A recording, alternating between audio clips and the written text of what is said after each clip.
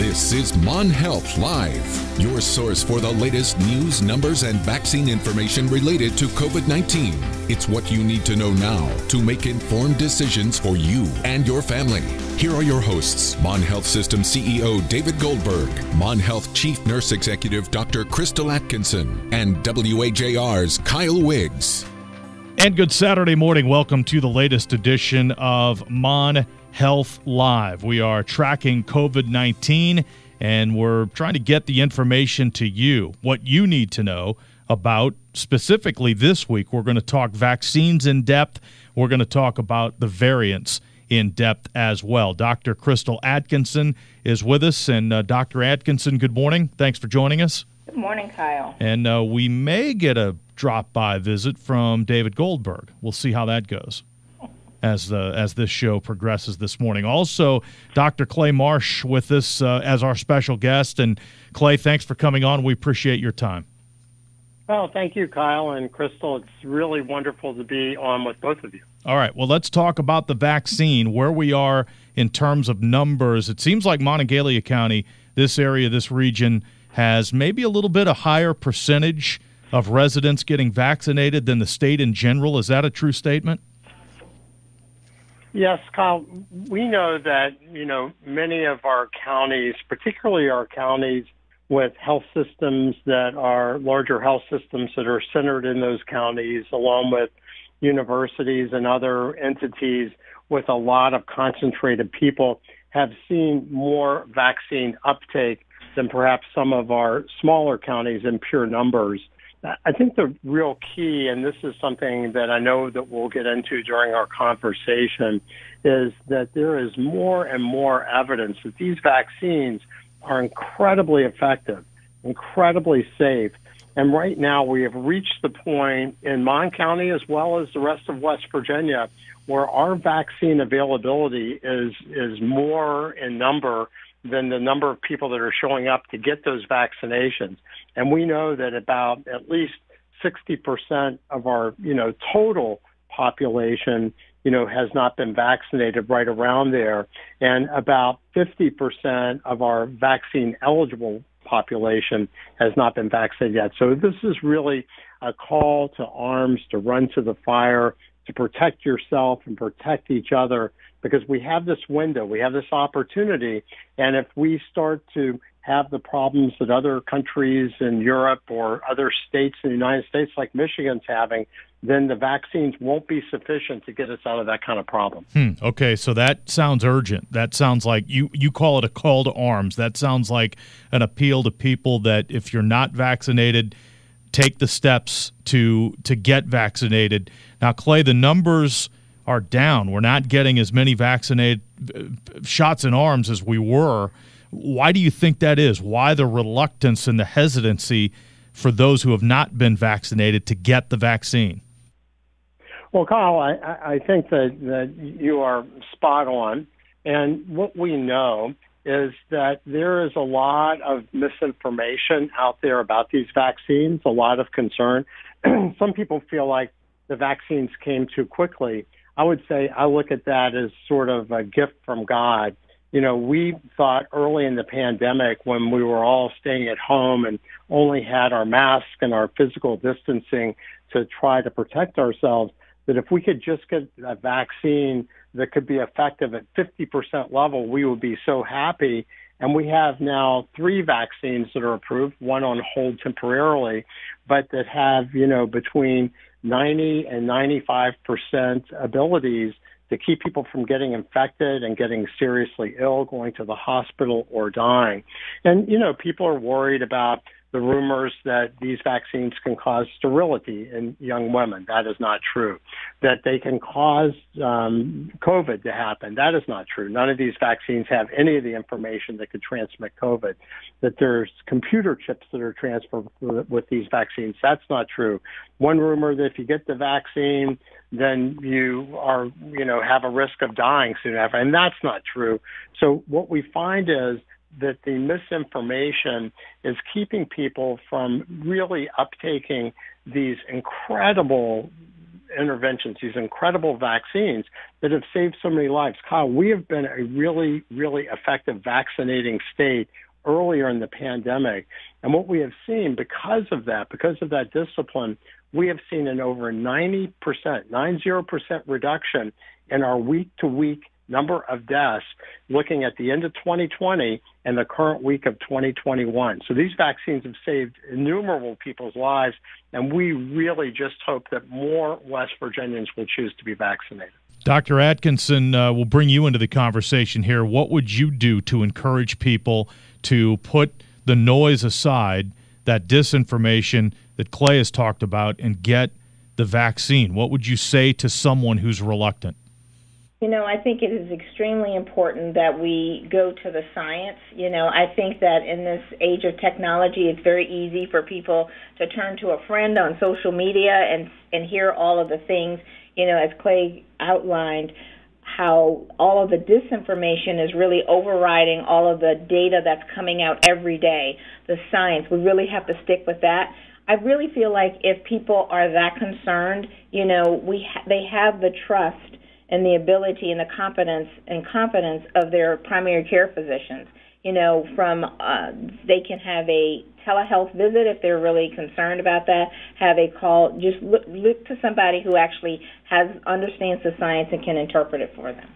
And uh, Dr. Atkinson, you're on the front lines there at a large medical facility, uh, Mon General Hospital. And what's the situation now in terms of number of patients, number of cases? Can you update us on that? Yeah, I can. Um, we actually have throughout our system less than five patients that are actually currently hospitalized with COVID. So again, all of the things that Dr. Marsh outlined, you know, that we were waiting for, embracing for this vaccine, as people are going out and they're adhering to the mitigation um, processes that have been put in place in addition to getting vaccinated, I think is certainly um, we're certainly seeing um, from a hospital standpoint that these things are really helping. So um, we're, we're certainly not seeing our ICUs full as we were um, in the wintertime. Mm-hmm. All right, so it's working. Clay, that's an indication from, again, the front lines from a large medical facility that this vaccine is working. It's cutting down the cases and it's reduced the mortality rate. Yes, Kyle, that, that's exactly right. And, and Crystal said it very well. You know, our, our philosophy and strategy, you know, from the governor on down has been to save lives and, and really try to reduce hospitalizations. And therefore, we immunize the most susceptible, you know, part of our population to have hospitalizations and to die from COVID-19, which is our you know, long-term care facility population, assisted living population, and then our elders. And the governor called that the Operation Save Our Wisdom. And, and so I think we've done a really good job of targeting those people. We reached our, you know, first and second shots in our nursing home population, first in the country. And, you know, we have now immunized over 77% of our over 65 year olds with one shot and over 66% with two shots, which is fantastic. And I think is at least in large part responsible for this reduction in hospitalization. And I know we're going to talk about this coming up, but now that the variants are with us, it's really a kind of a different set of problems, kind of a different disease than we faced before. And it's going to really require us to approach this new part of the COVID pandemic with the variants, particularly the one, the variant from the United Kingdom being the most common form of COVID-19 now in our country. That's going to force us to really think differently. And, and, and we will talk about that in the upcoming part of this segment, right. which is going to be really important for, I think, West Virginians to, to understand. All right. We want to get into the variants. We'll take a break first. I want to get into the variants in depth, but Clay, address the the the, largest growing segment of of subset, I guess, of people that this virus is spreading through are the younger people, ages 10 to 19. Now, the vaccine is open for anyone 16 plus. So now's the time for the younger people to get that vaccine as well. It's very important to keep the spread down. It is indeed, Kyle. And, and what we see is, and this is something that we're really thankful for, you know, we had the opportunity when the governor decided to reactivate in-person learning and and Superintendent Burch and, and the you know the county school boards all supported that going back to the classroom that we were able to vaccinate all of our teachers and school service personnel which really protects them. And and we got good uptake and we've gotten even more uptake uh, you know since all this has happened uh, starting January 18th but we also know that that there are outbreaks in schools, not in the classroom, which is great, where people wear masks and stay physically distanced, but on sports teams and extracurricular activities, and more in these younger people than the adults, than the teachers. And we saw more teachers or more school service personnel adults in the 2020 side of the of the outbreaks in schools. So it is absolutely critical that we vaccinate and, and, and help people choose and feel safe to be vaccinated for all of our West Virginians 16 and over, targeting that younger population where we see the most spread. But we also anticipate, Kyle, that really soon the Food and Drug Administration will look at the data, which seems to be very strong, and drop that eligibility down to 12 years old, which we anticipate will happen within you know the next two to four weeks. Okay, and in Monongalia County, we've got the doses right. So if they do drop that, we should have doses to begin vaccinating younger and younger children. Correct? We have plenty of doses, and uh, Pfizer is the is the vaccine that is approved for all Americans uh, 16 and over. So we, we, are not limited by our vaccine, and we would absolutely encourage everybody who mm-hmm. listens to the show to, you know, if you are 16 or over, please choose to be vaccinated. Protects you, protects your family, allows you to play sports. You don't have to quarantine if other people are infected that you're close to, uh, unless you get symptoms.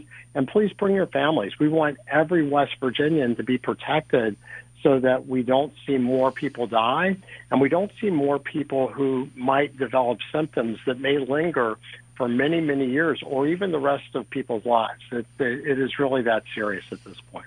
All right, this is Mon Health Live, and we'll continue the conversation. We'll get into the variants.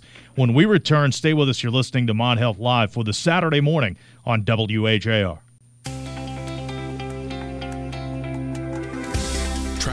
COVID 19 with the Mon Health experts. This is Mon Health Live. Here's Mon Health CEO David Goldberg and Chief Nurse Executive Dr. Crystal Atkinson.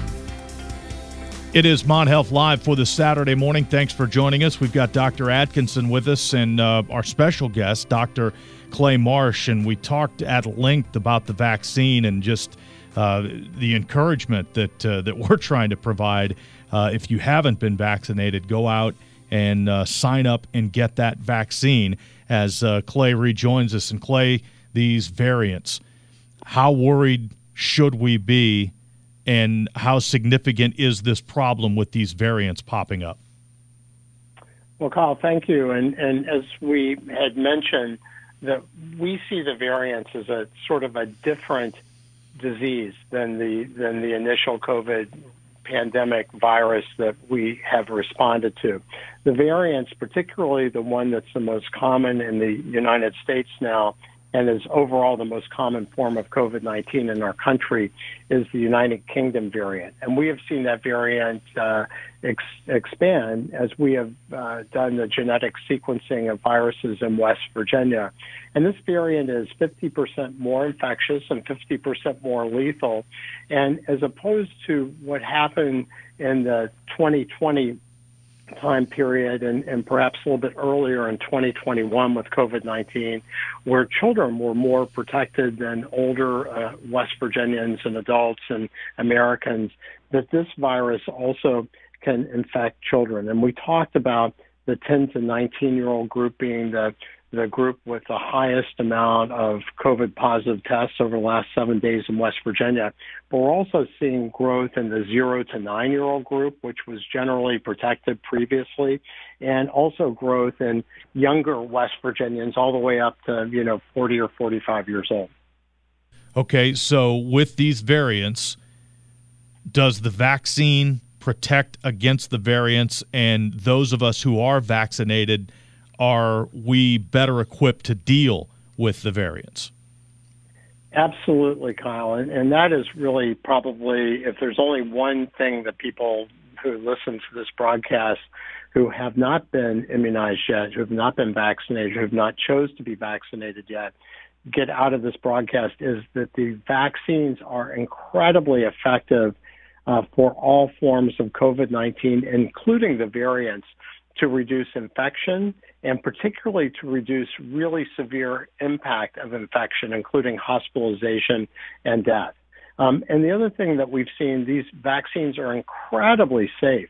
You know, we did the clinical trials using 30,000 people in the Pfizer trial and about 17,000 people that got the Moderna for the Moderna trial. But now we've, you know, we've put vaccine in arms of over 100 million Americans. And what we have seen is the side effect profile, other than a sore arm or maybe feeling crappy the day after you get the vaccine, are really minimal and the impact and real world activity against variants, against all viruses, these vaccines are over 90% effective in, in keeping you healthy. So, so these vaccines are safe and incredibly effective, and we absolutely want every one of our citizens to choose to protect themselves and to protect each other by doing that. Plus, if people become immunized and, and, and, and immune competent, meaning that the virus doesn't infect them, that also stops, slows down and stops the spread of variants in West Virginia, which gives us more time to immunize more people. Dr. Atkinson, uh, if, if people are, are, I guess, coming to this late, if they're not quite aware of the vaccine or the process to get it, what would you tell them? What's the best way now to get signed up and to get the vaccine? Yeah, I think just go on um, the internet and go to vaccinate.wv.gov. All of the information is right there. Once you get yourself registered, the next important step is to answer your phone. There's going to be a follow up phone call, you know, so maybe a number that you don't recognize, but please answer your phone. That that that that is the individuals that are calling to just make sure that they are verifying that so they can get you scheduled. And it's an extremely easy process. And there are plenty of places to get this done. The the vaccination hub at the mall, the old Sears location, is still humming right along. I got my vaccinations at Walgreens. I know Walgreens are participating, and there by now there's probably some others, aren't there? Some other places to get this vaccine. Absolutely. Um, we're also seeing CVS is starting to do it as well, you know, and I think pretty soon you'll be coming to your physician's offices. Certainly okay. call your physician's offices just to verify and see if they're doing that, but definitely um, there's no shortage, as Dr. Marsh has, has shared. Um, we want to make sure that everybody has this opportunity to protect themselves. Okay, Clay, there's there's a little bit, of course, the the stoppage of the Johnson and Johnson vaccine that made headlines, and some people got concerned about that. What can you tell us about that situation and an update when the Johnson and Johnson vaccine might be available again? Well, thank you, Kyle. The Johnson and Johnson vaccine did get paused in the United States, and, and I think it, you know you could always look at things you know, more than one way. But the way that we see this pause is this is the federal government being really, really cautious because it was stopped for six individual events right. in in seven million vaccinations, and the events were a blood clot in some of the blood vessels that drain blood from the brain, which are really rare. But it turns out that that that, that complication, which is super rare, occurs exactly the same, you know, before COVID, before any vaccines were there. The reason why the Food and Drug Administration and the Centers for Disease Control decided to pause was because that was associated with a reduction in the blood platelets, which are the blood clotting factors that we measure in the body. And that's kind of unusual. We would think that the blood would not clot, but it would be too thin in that setting. And it implies there may be an immunologic reason why that's happened. So they hit pause so that they could give guidance because this happened in only 18 to 48 year old women six to 13 days after vaccination, and it's super rare. So, so I think that it will re- the FDA will restart this, and my anticipation will be they'll probably restart it by the beginning of next week. But mm. uh, but we have to wait and see how the, they look at the data. Okay, very good. We've got about a minute left in the program, and uh, Clay, anything else that you'd like to add that we haven't covered? Yeah, I think the, the one thing that I would um, uh, cover, Kyle, or at least comment on, is that you know many people feel that these vac- these vaccines are not reliable, or they are hesitant to take the vaccines, or they're frankly worried and perhaps not trusting in, in vaccines that are made quickly, or you know, uh, or people that they perceive as trying to push the vaccines on them. Now, I want to make really clear: we're not trying to, you know, push anything on anybody. We certainly respect every West Virginian's ability to make a decision for themselves, you know, and, and, and if people choose not to be vaccinated, that's certainly their right. But this to me is really an opportunity for us, you know, to show and demonstrate that altruism and caring for each other that I think has really been the hallmark of our state's response, and we've done so well. Um, and I would also say to people that for me personally, you know, I've taken the vaccine. My 90 year old mom has taken the vaccine with my recommendation. My wife has taken the vaccine. My 27 year old daughter has taken the vaccine, and my two sons are in the midst of getting their second doses for the vaccine. So everybody that I love the most in the world have been vaccinated, and I read about this all the time, and I absolutely trust these vaccines to be safe and incredibly effective. All right, that says it all right there. I mean that uh, that that sums it up perfectly. Dr. Clay Marsh, thanks for your time. You've uh, you've had invaluable input to uh, to our show here on this Saturday morning. Well, thank you, Kyle, and thank you, Crystal. Thanks Doc- so much for joining us. Yeah, Dr. Atkinson, thanks for your time as well, and uh, we'll talk to you again next week. That wraps up Mon Health Talk on this Saturday morning on WAJR.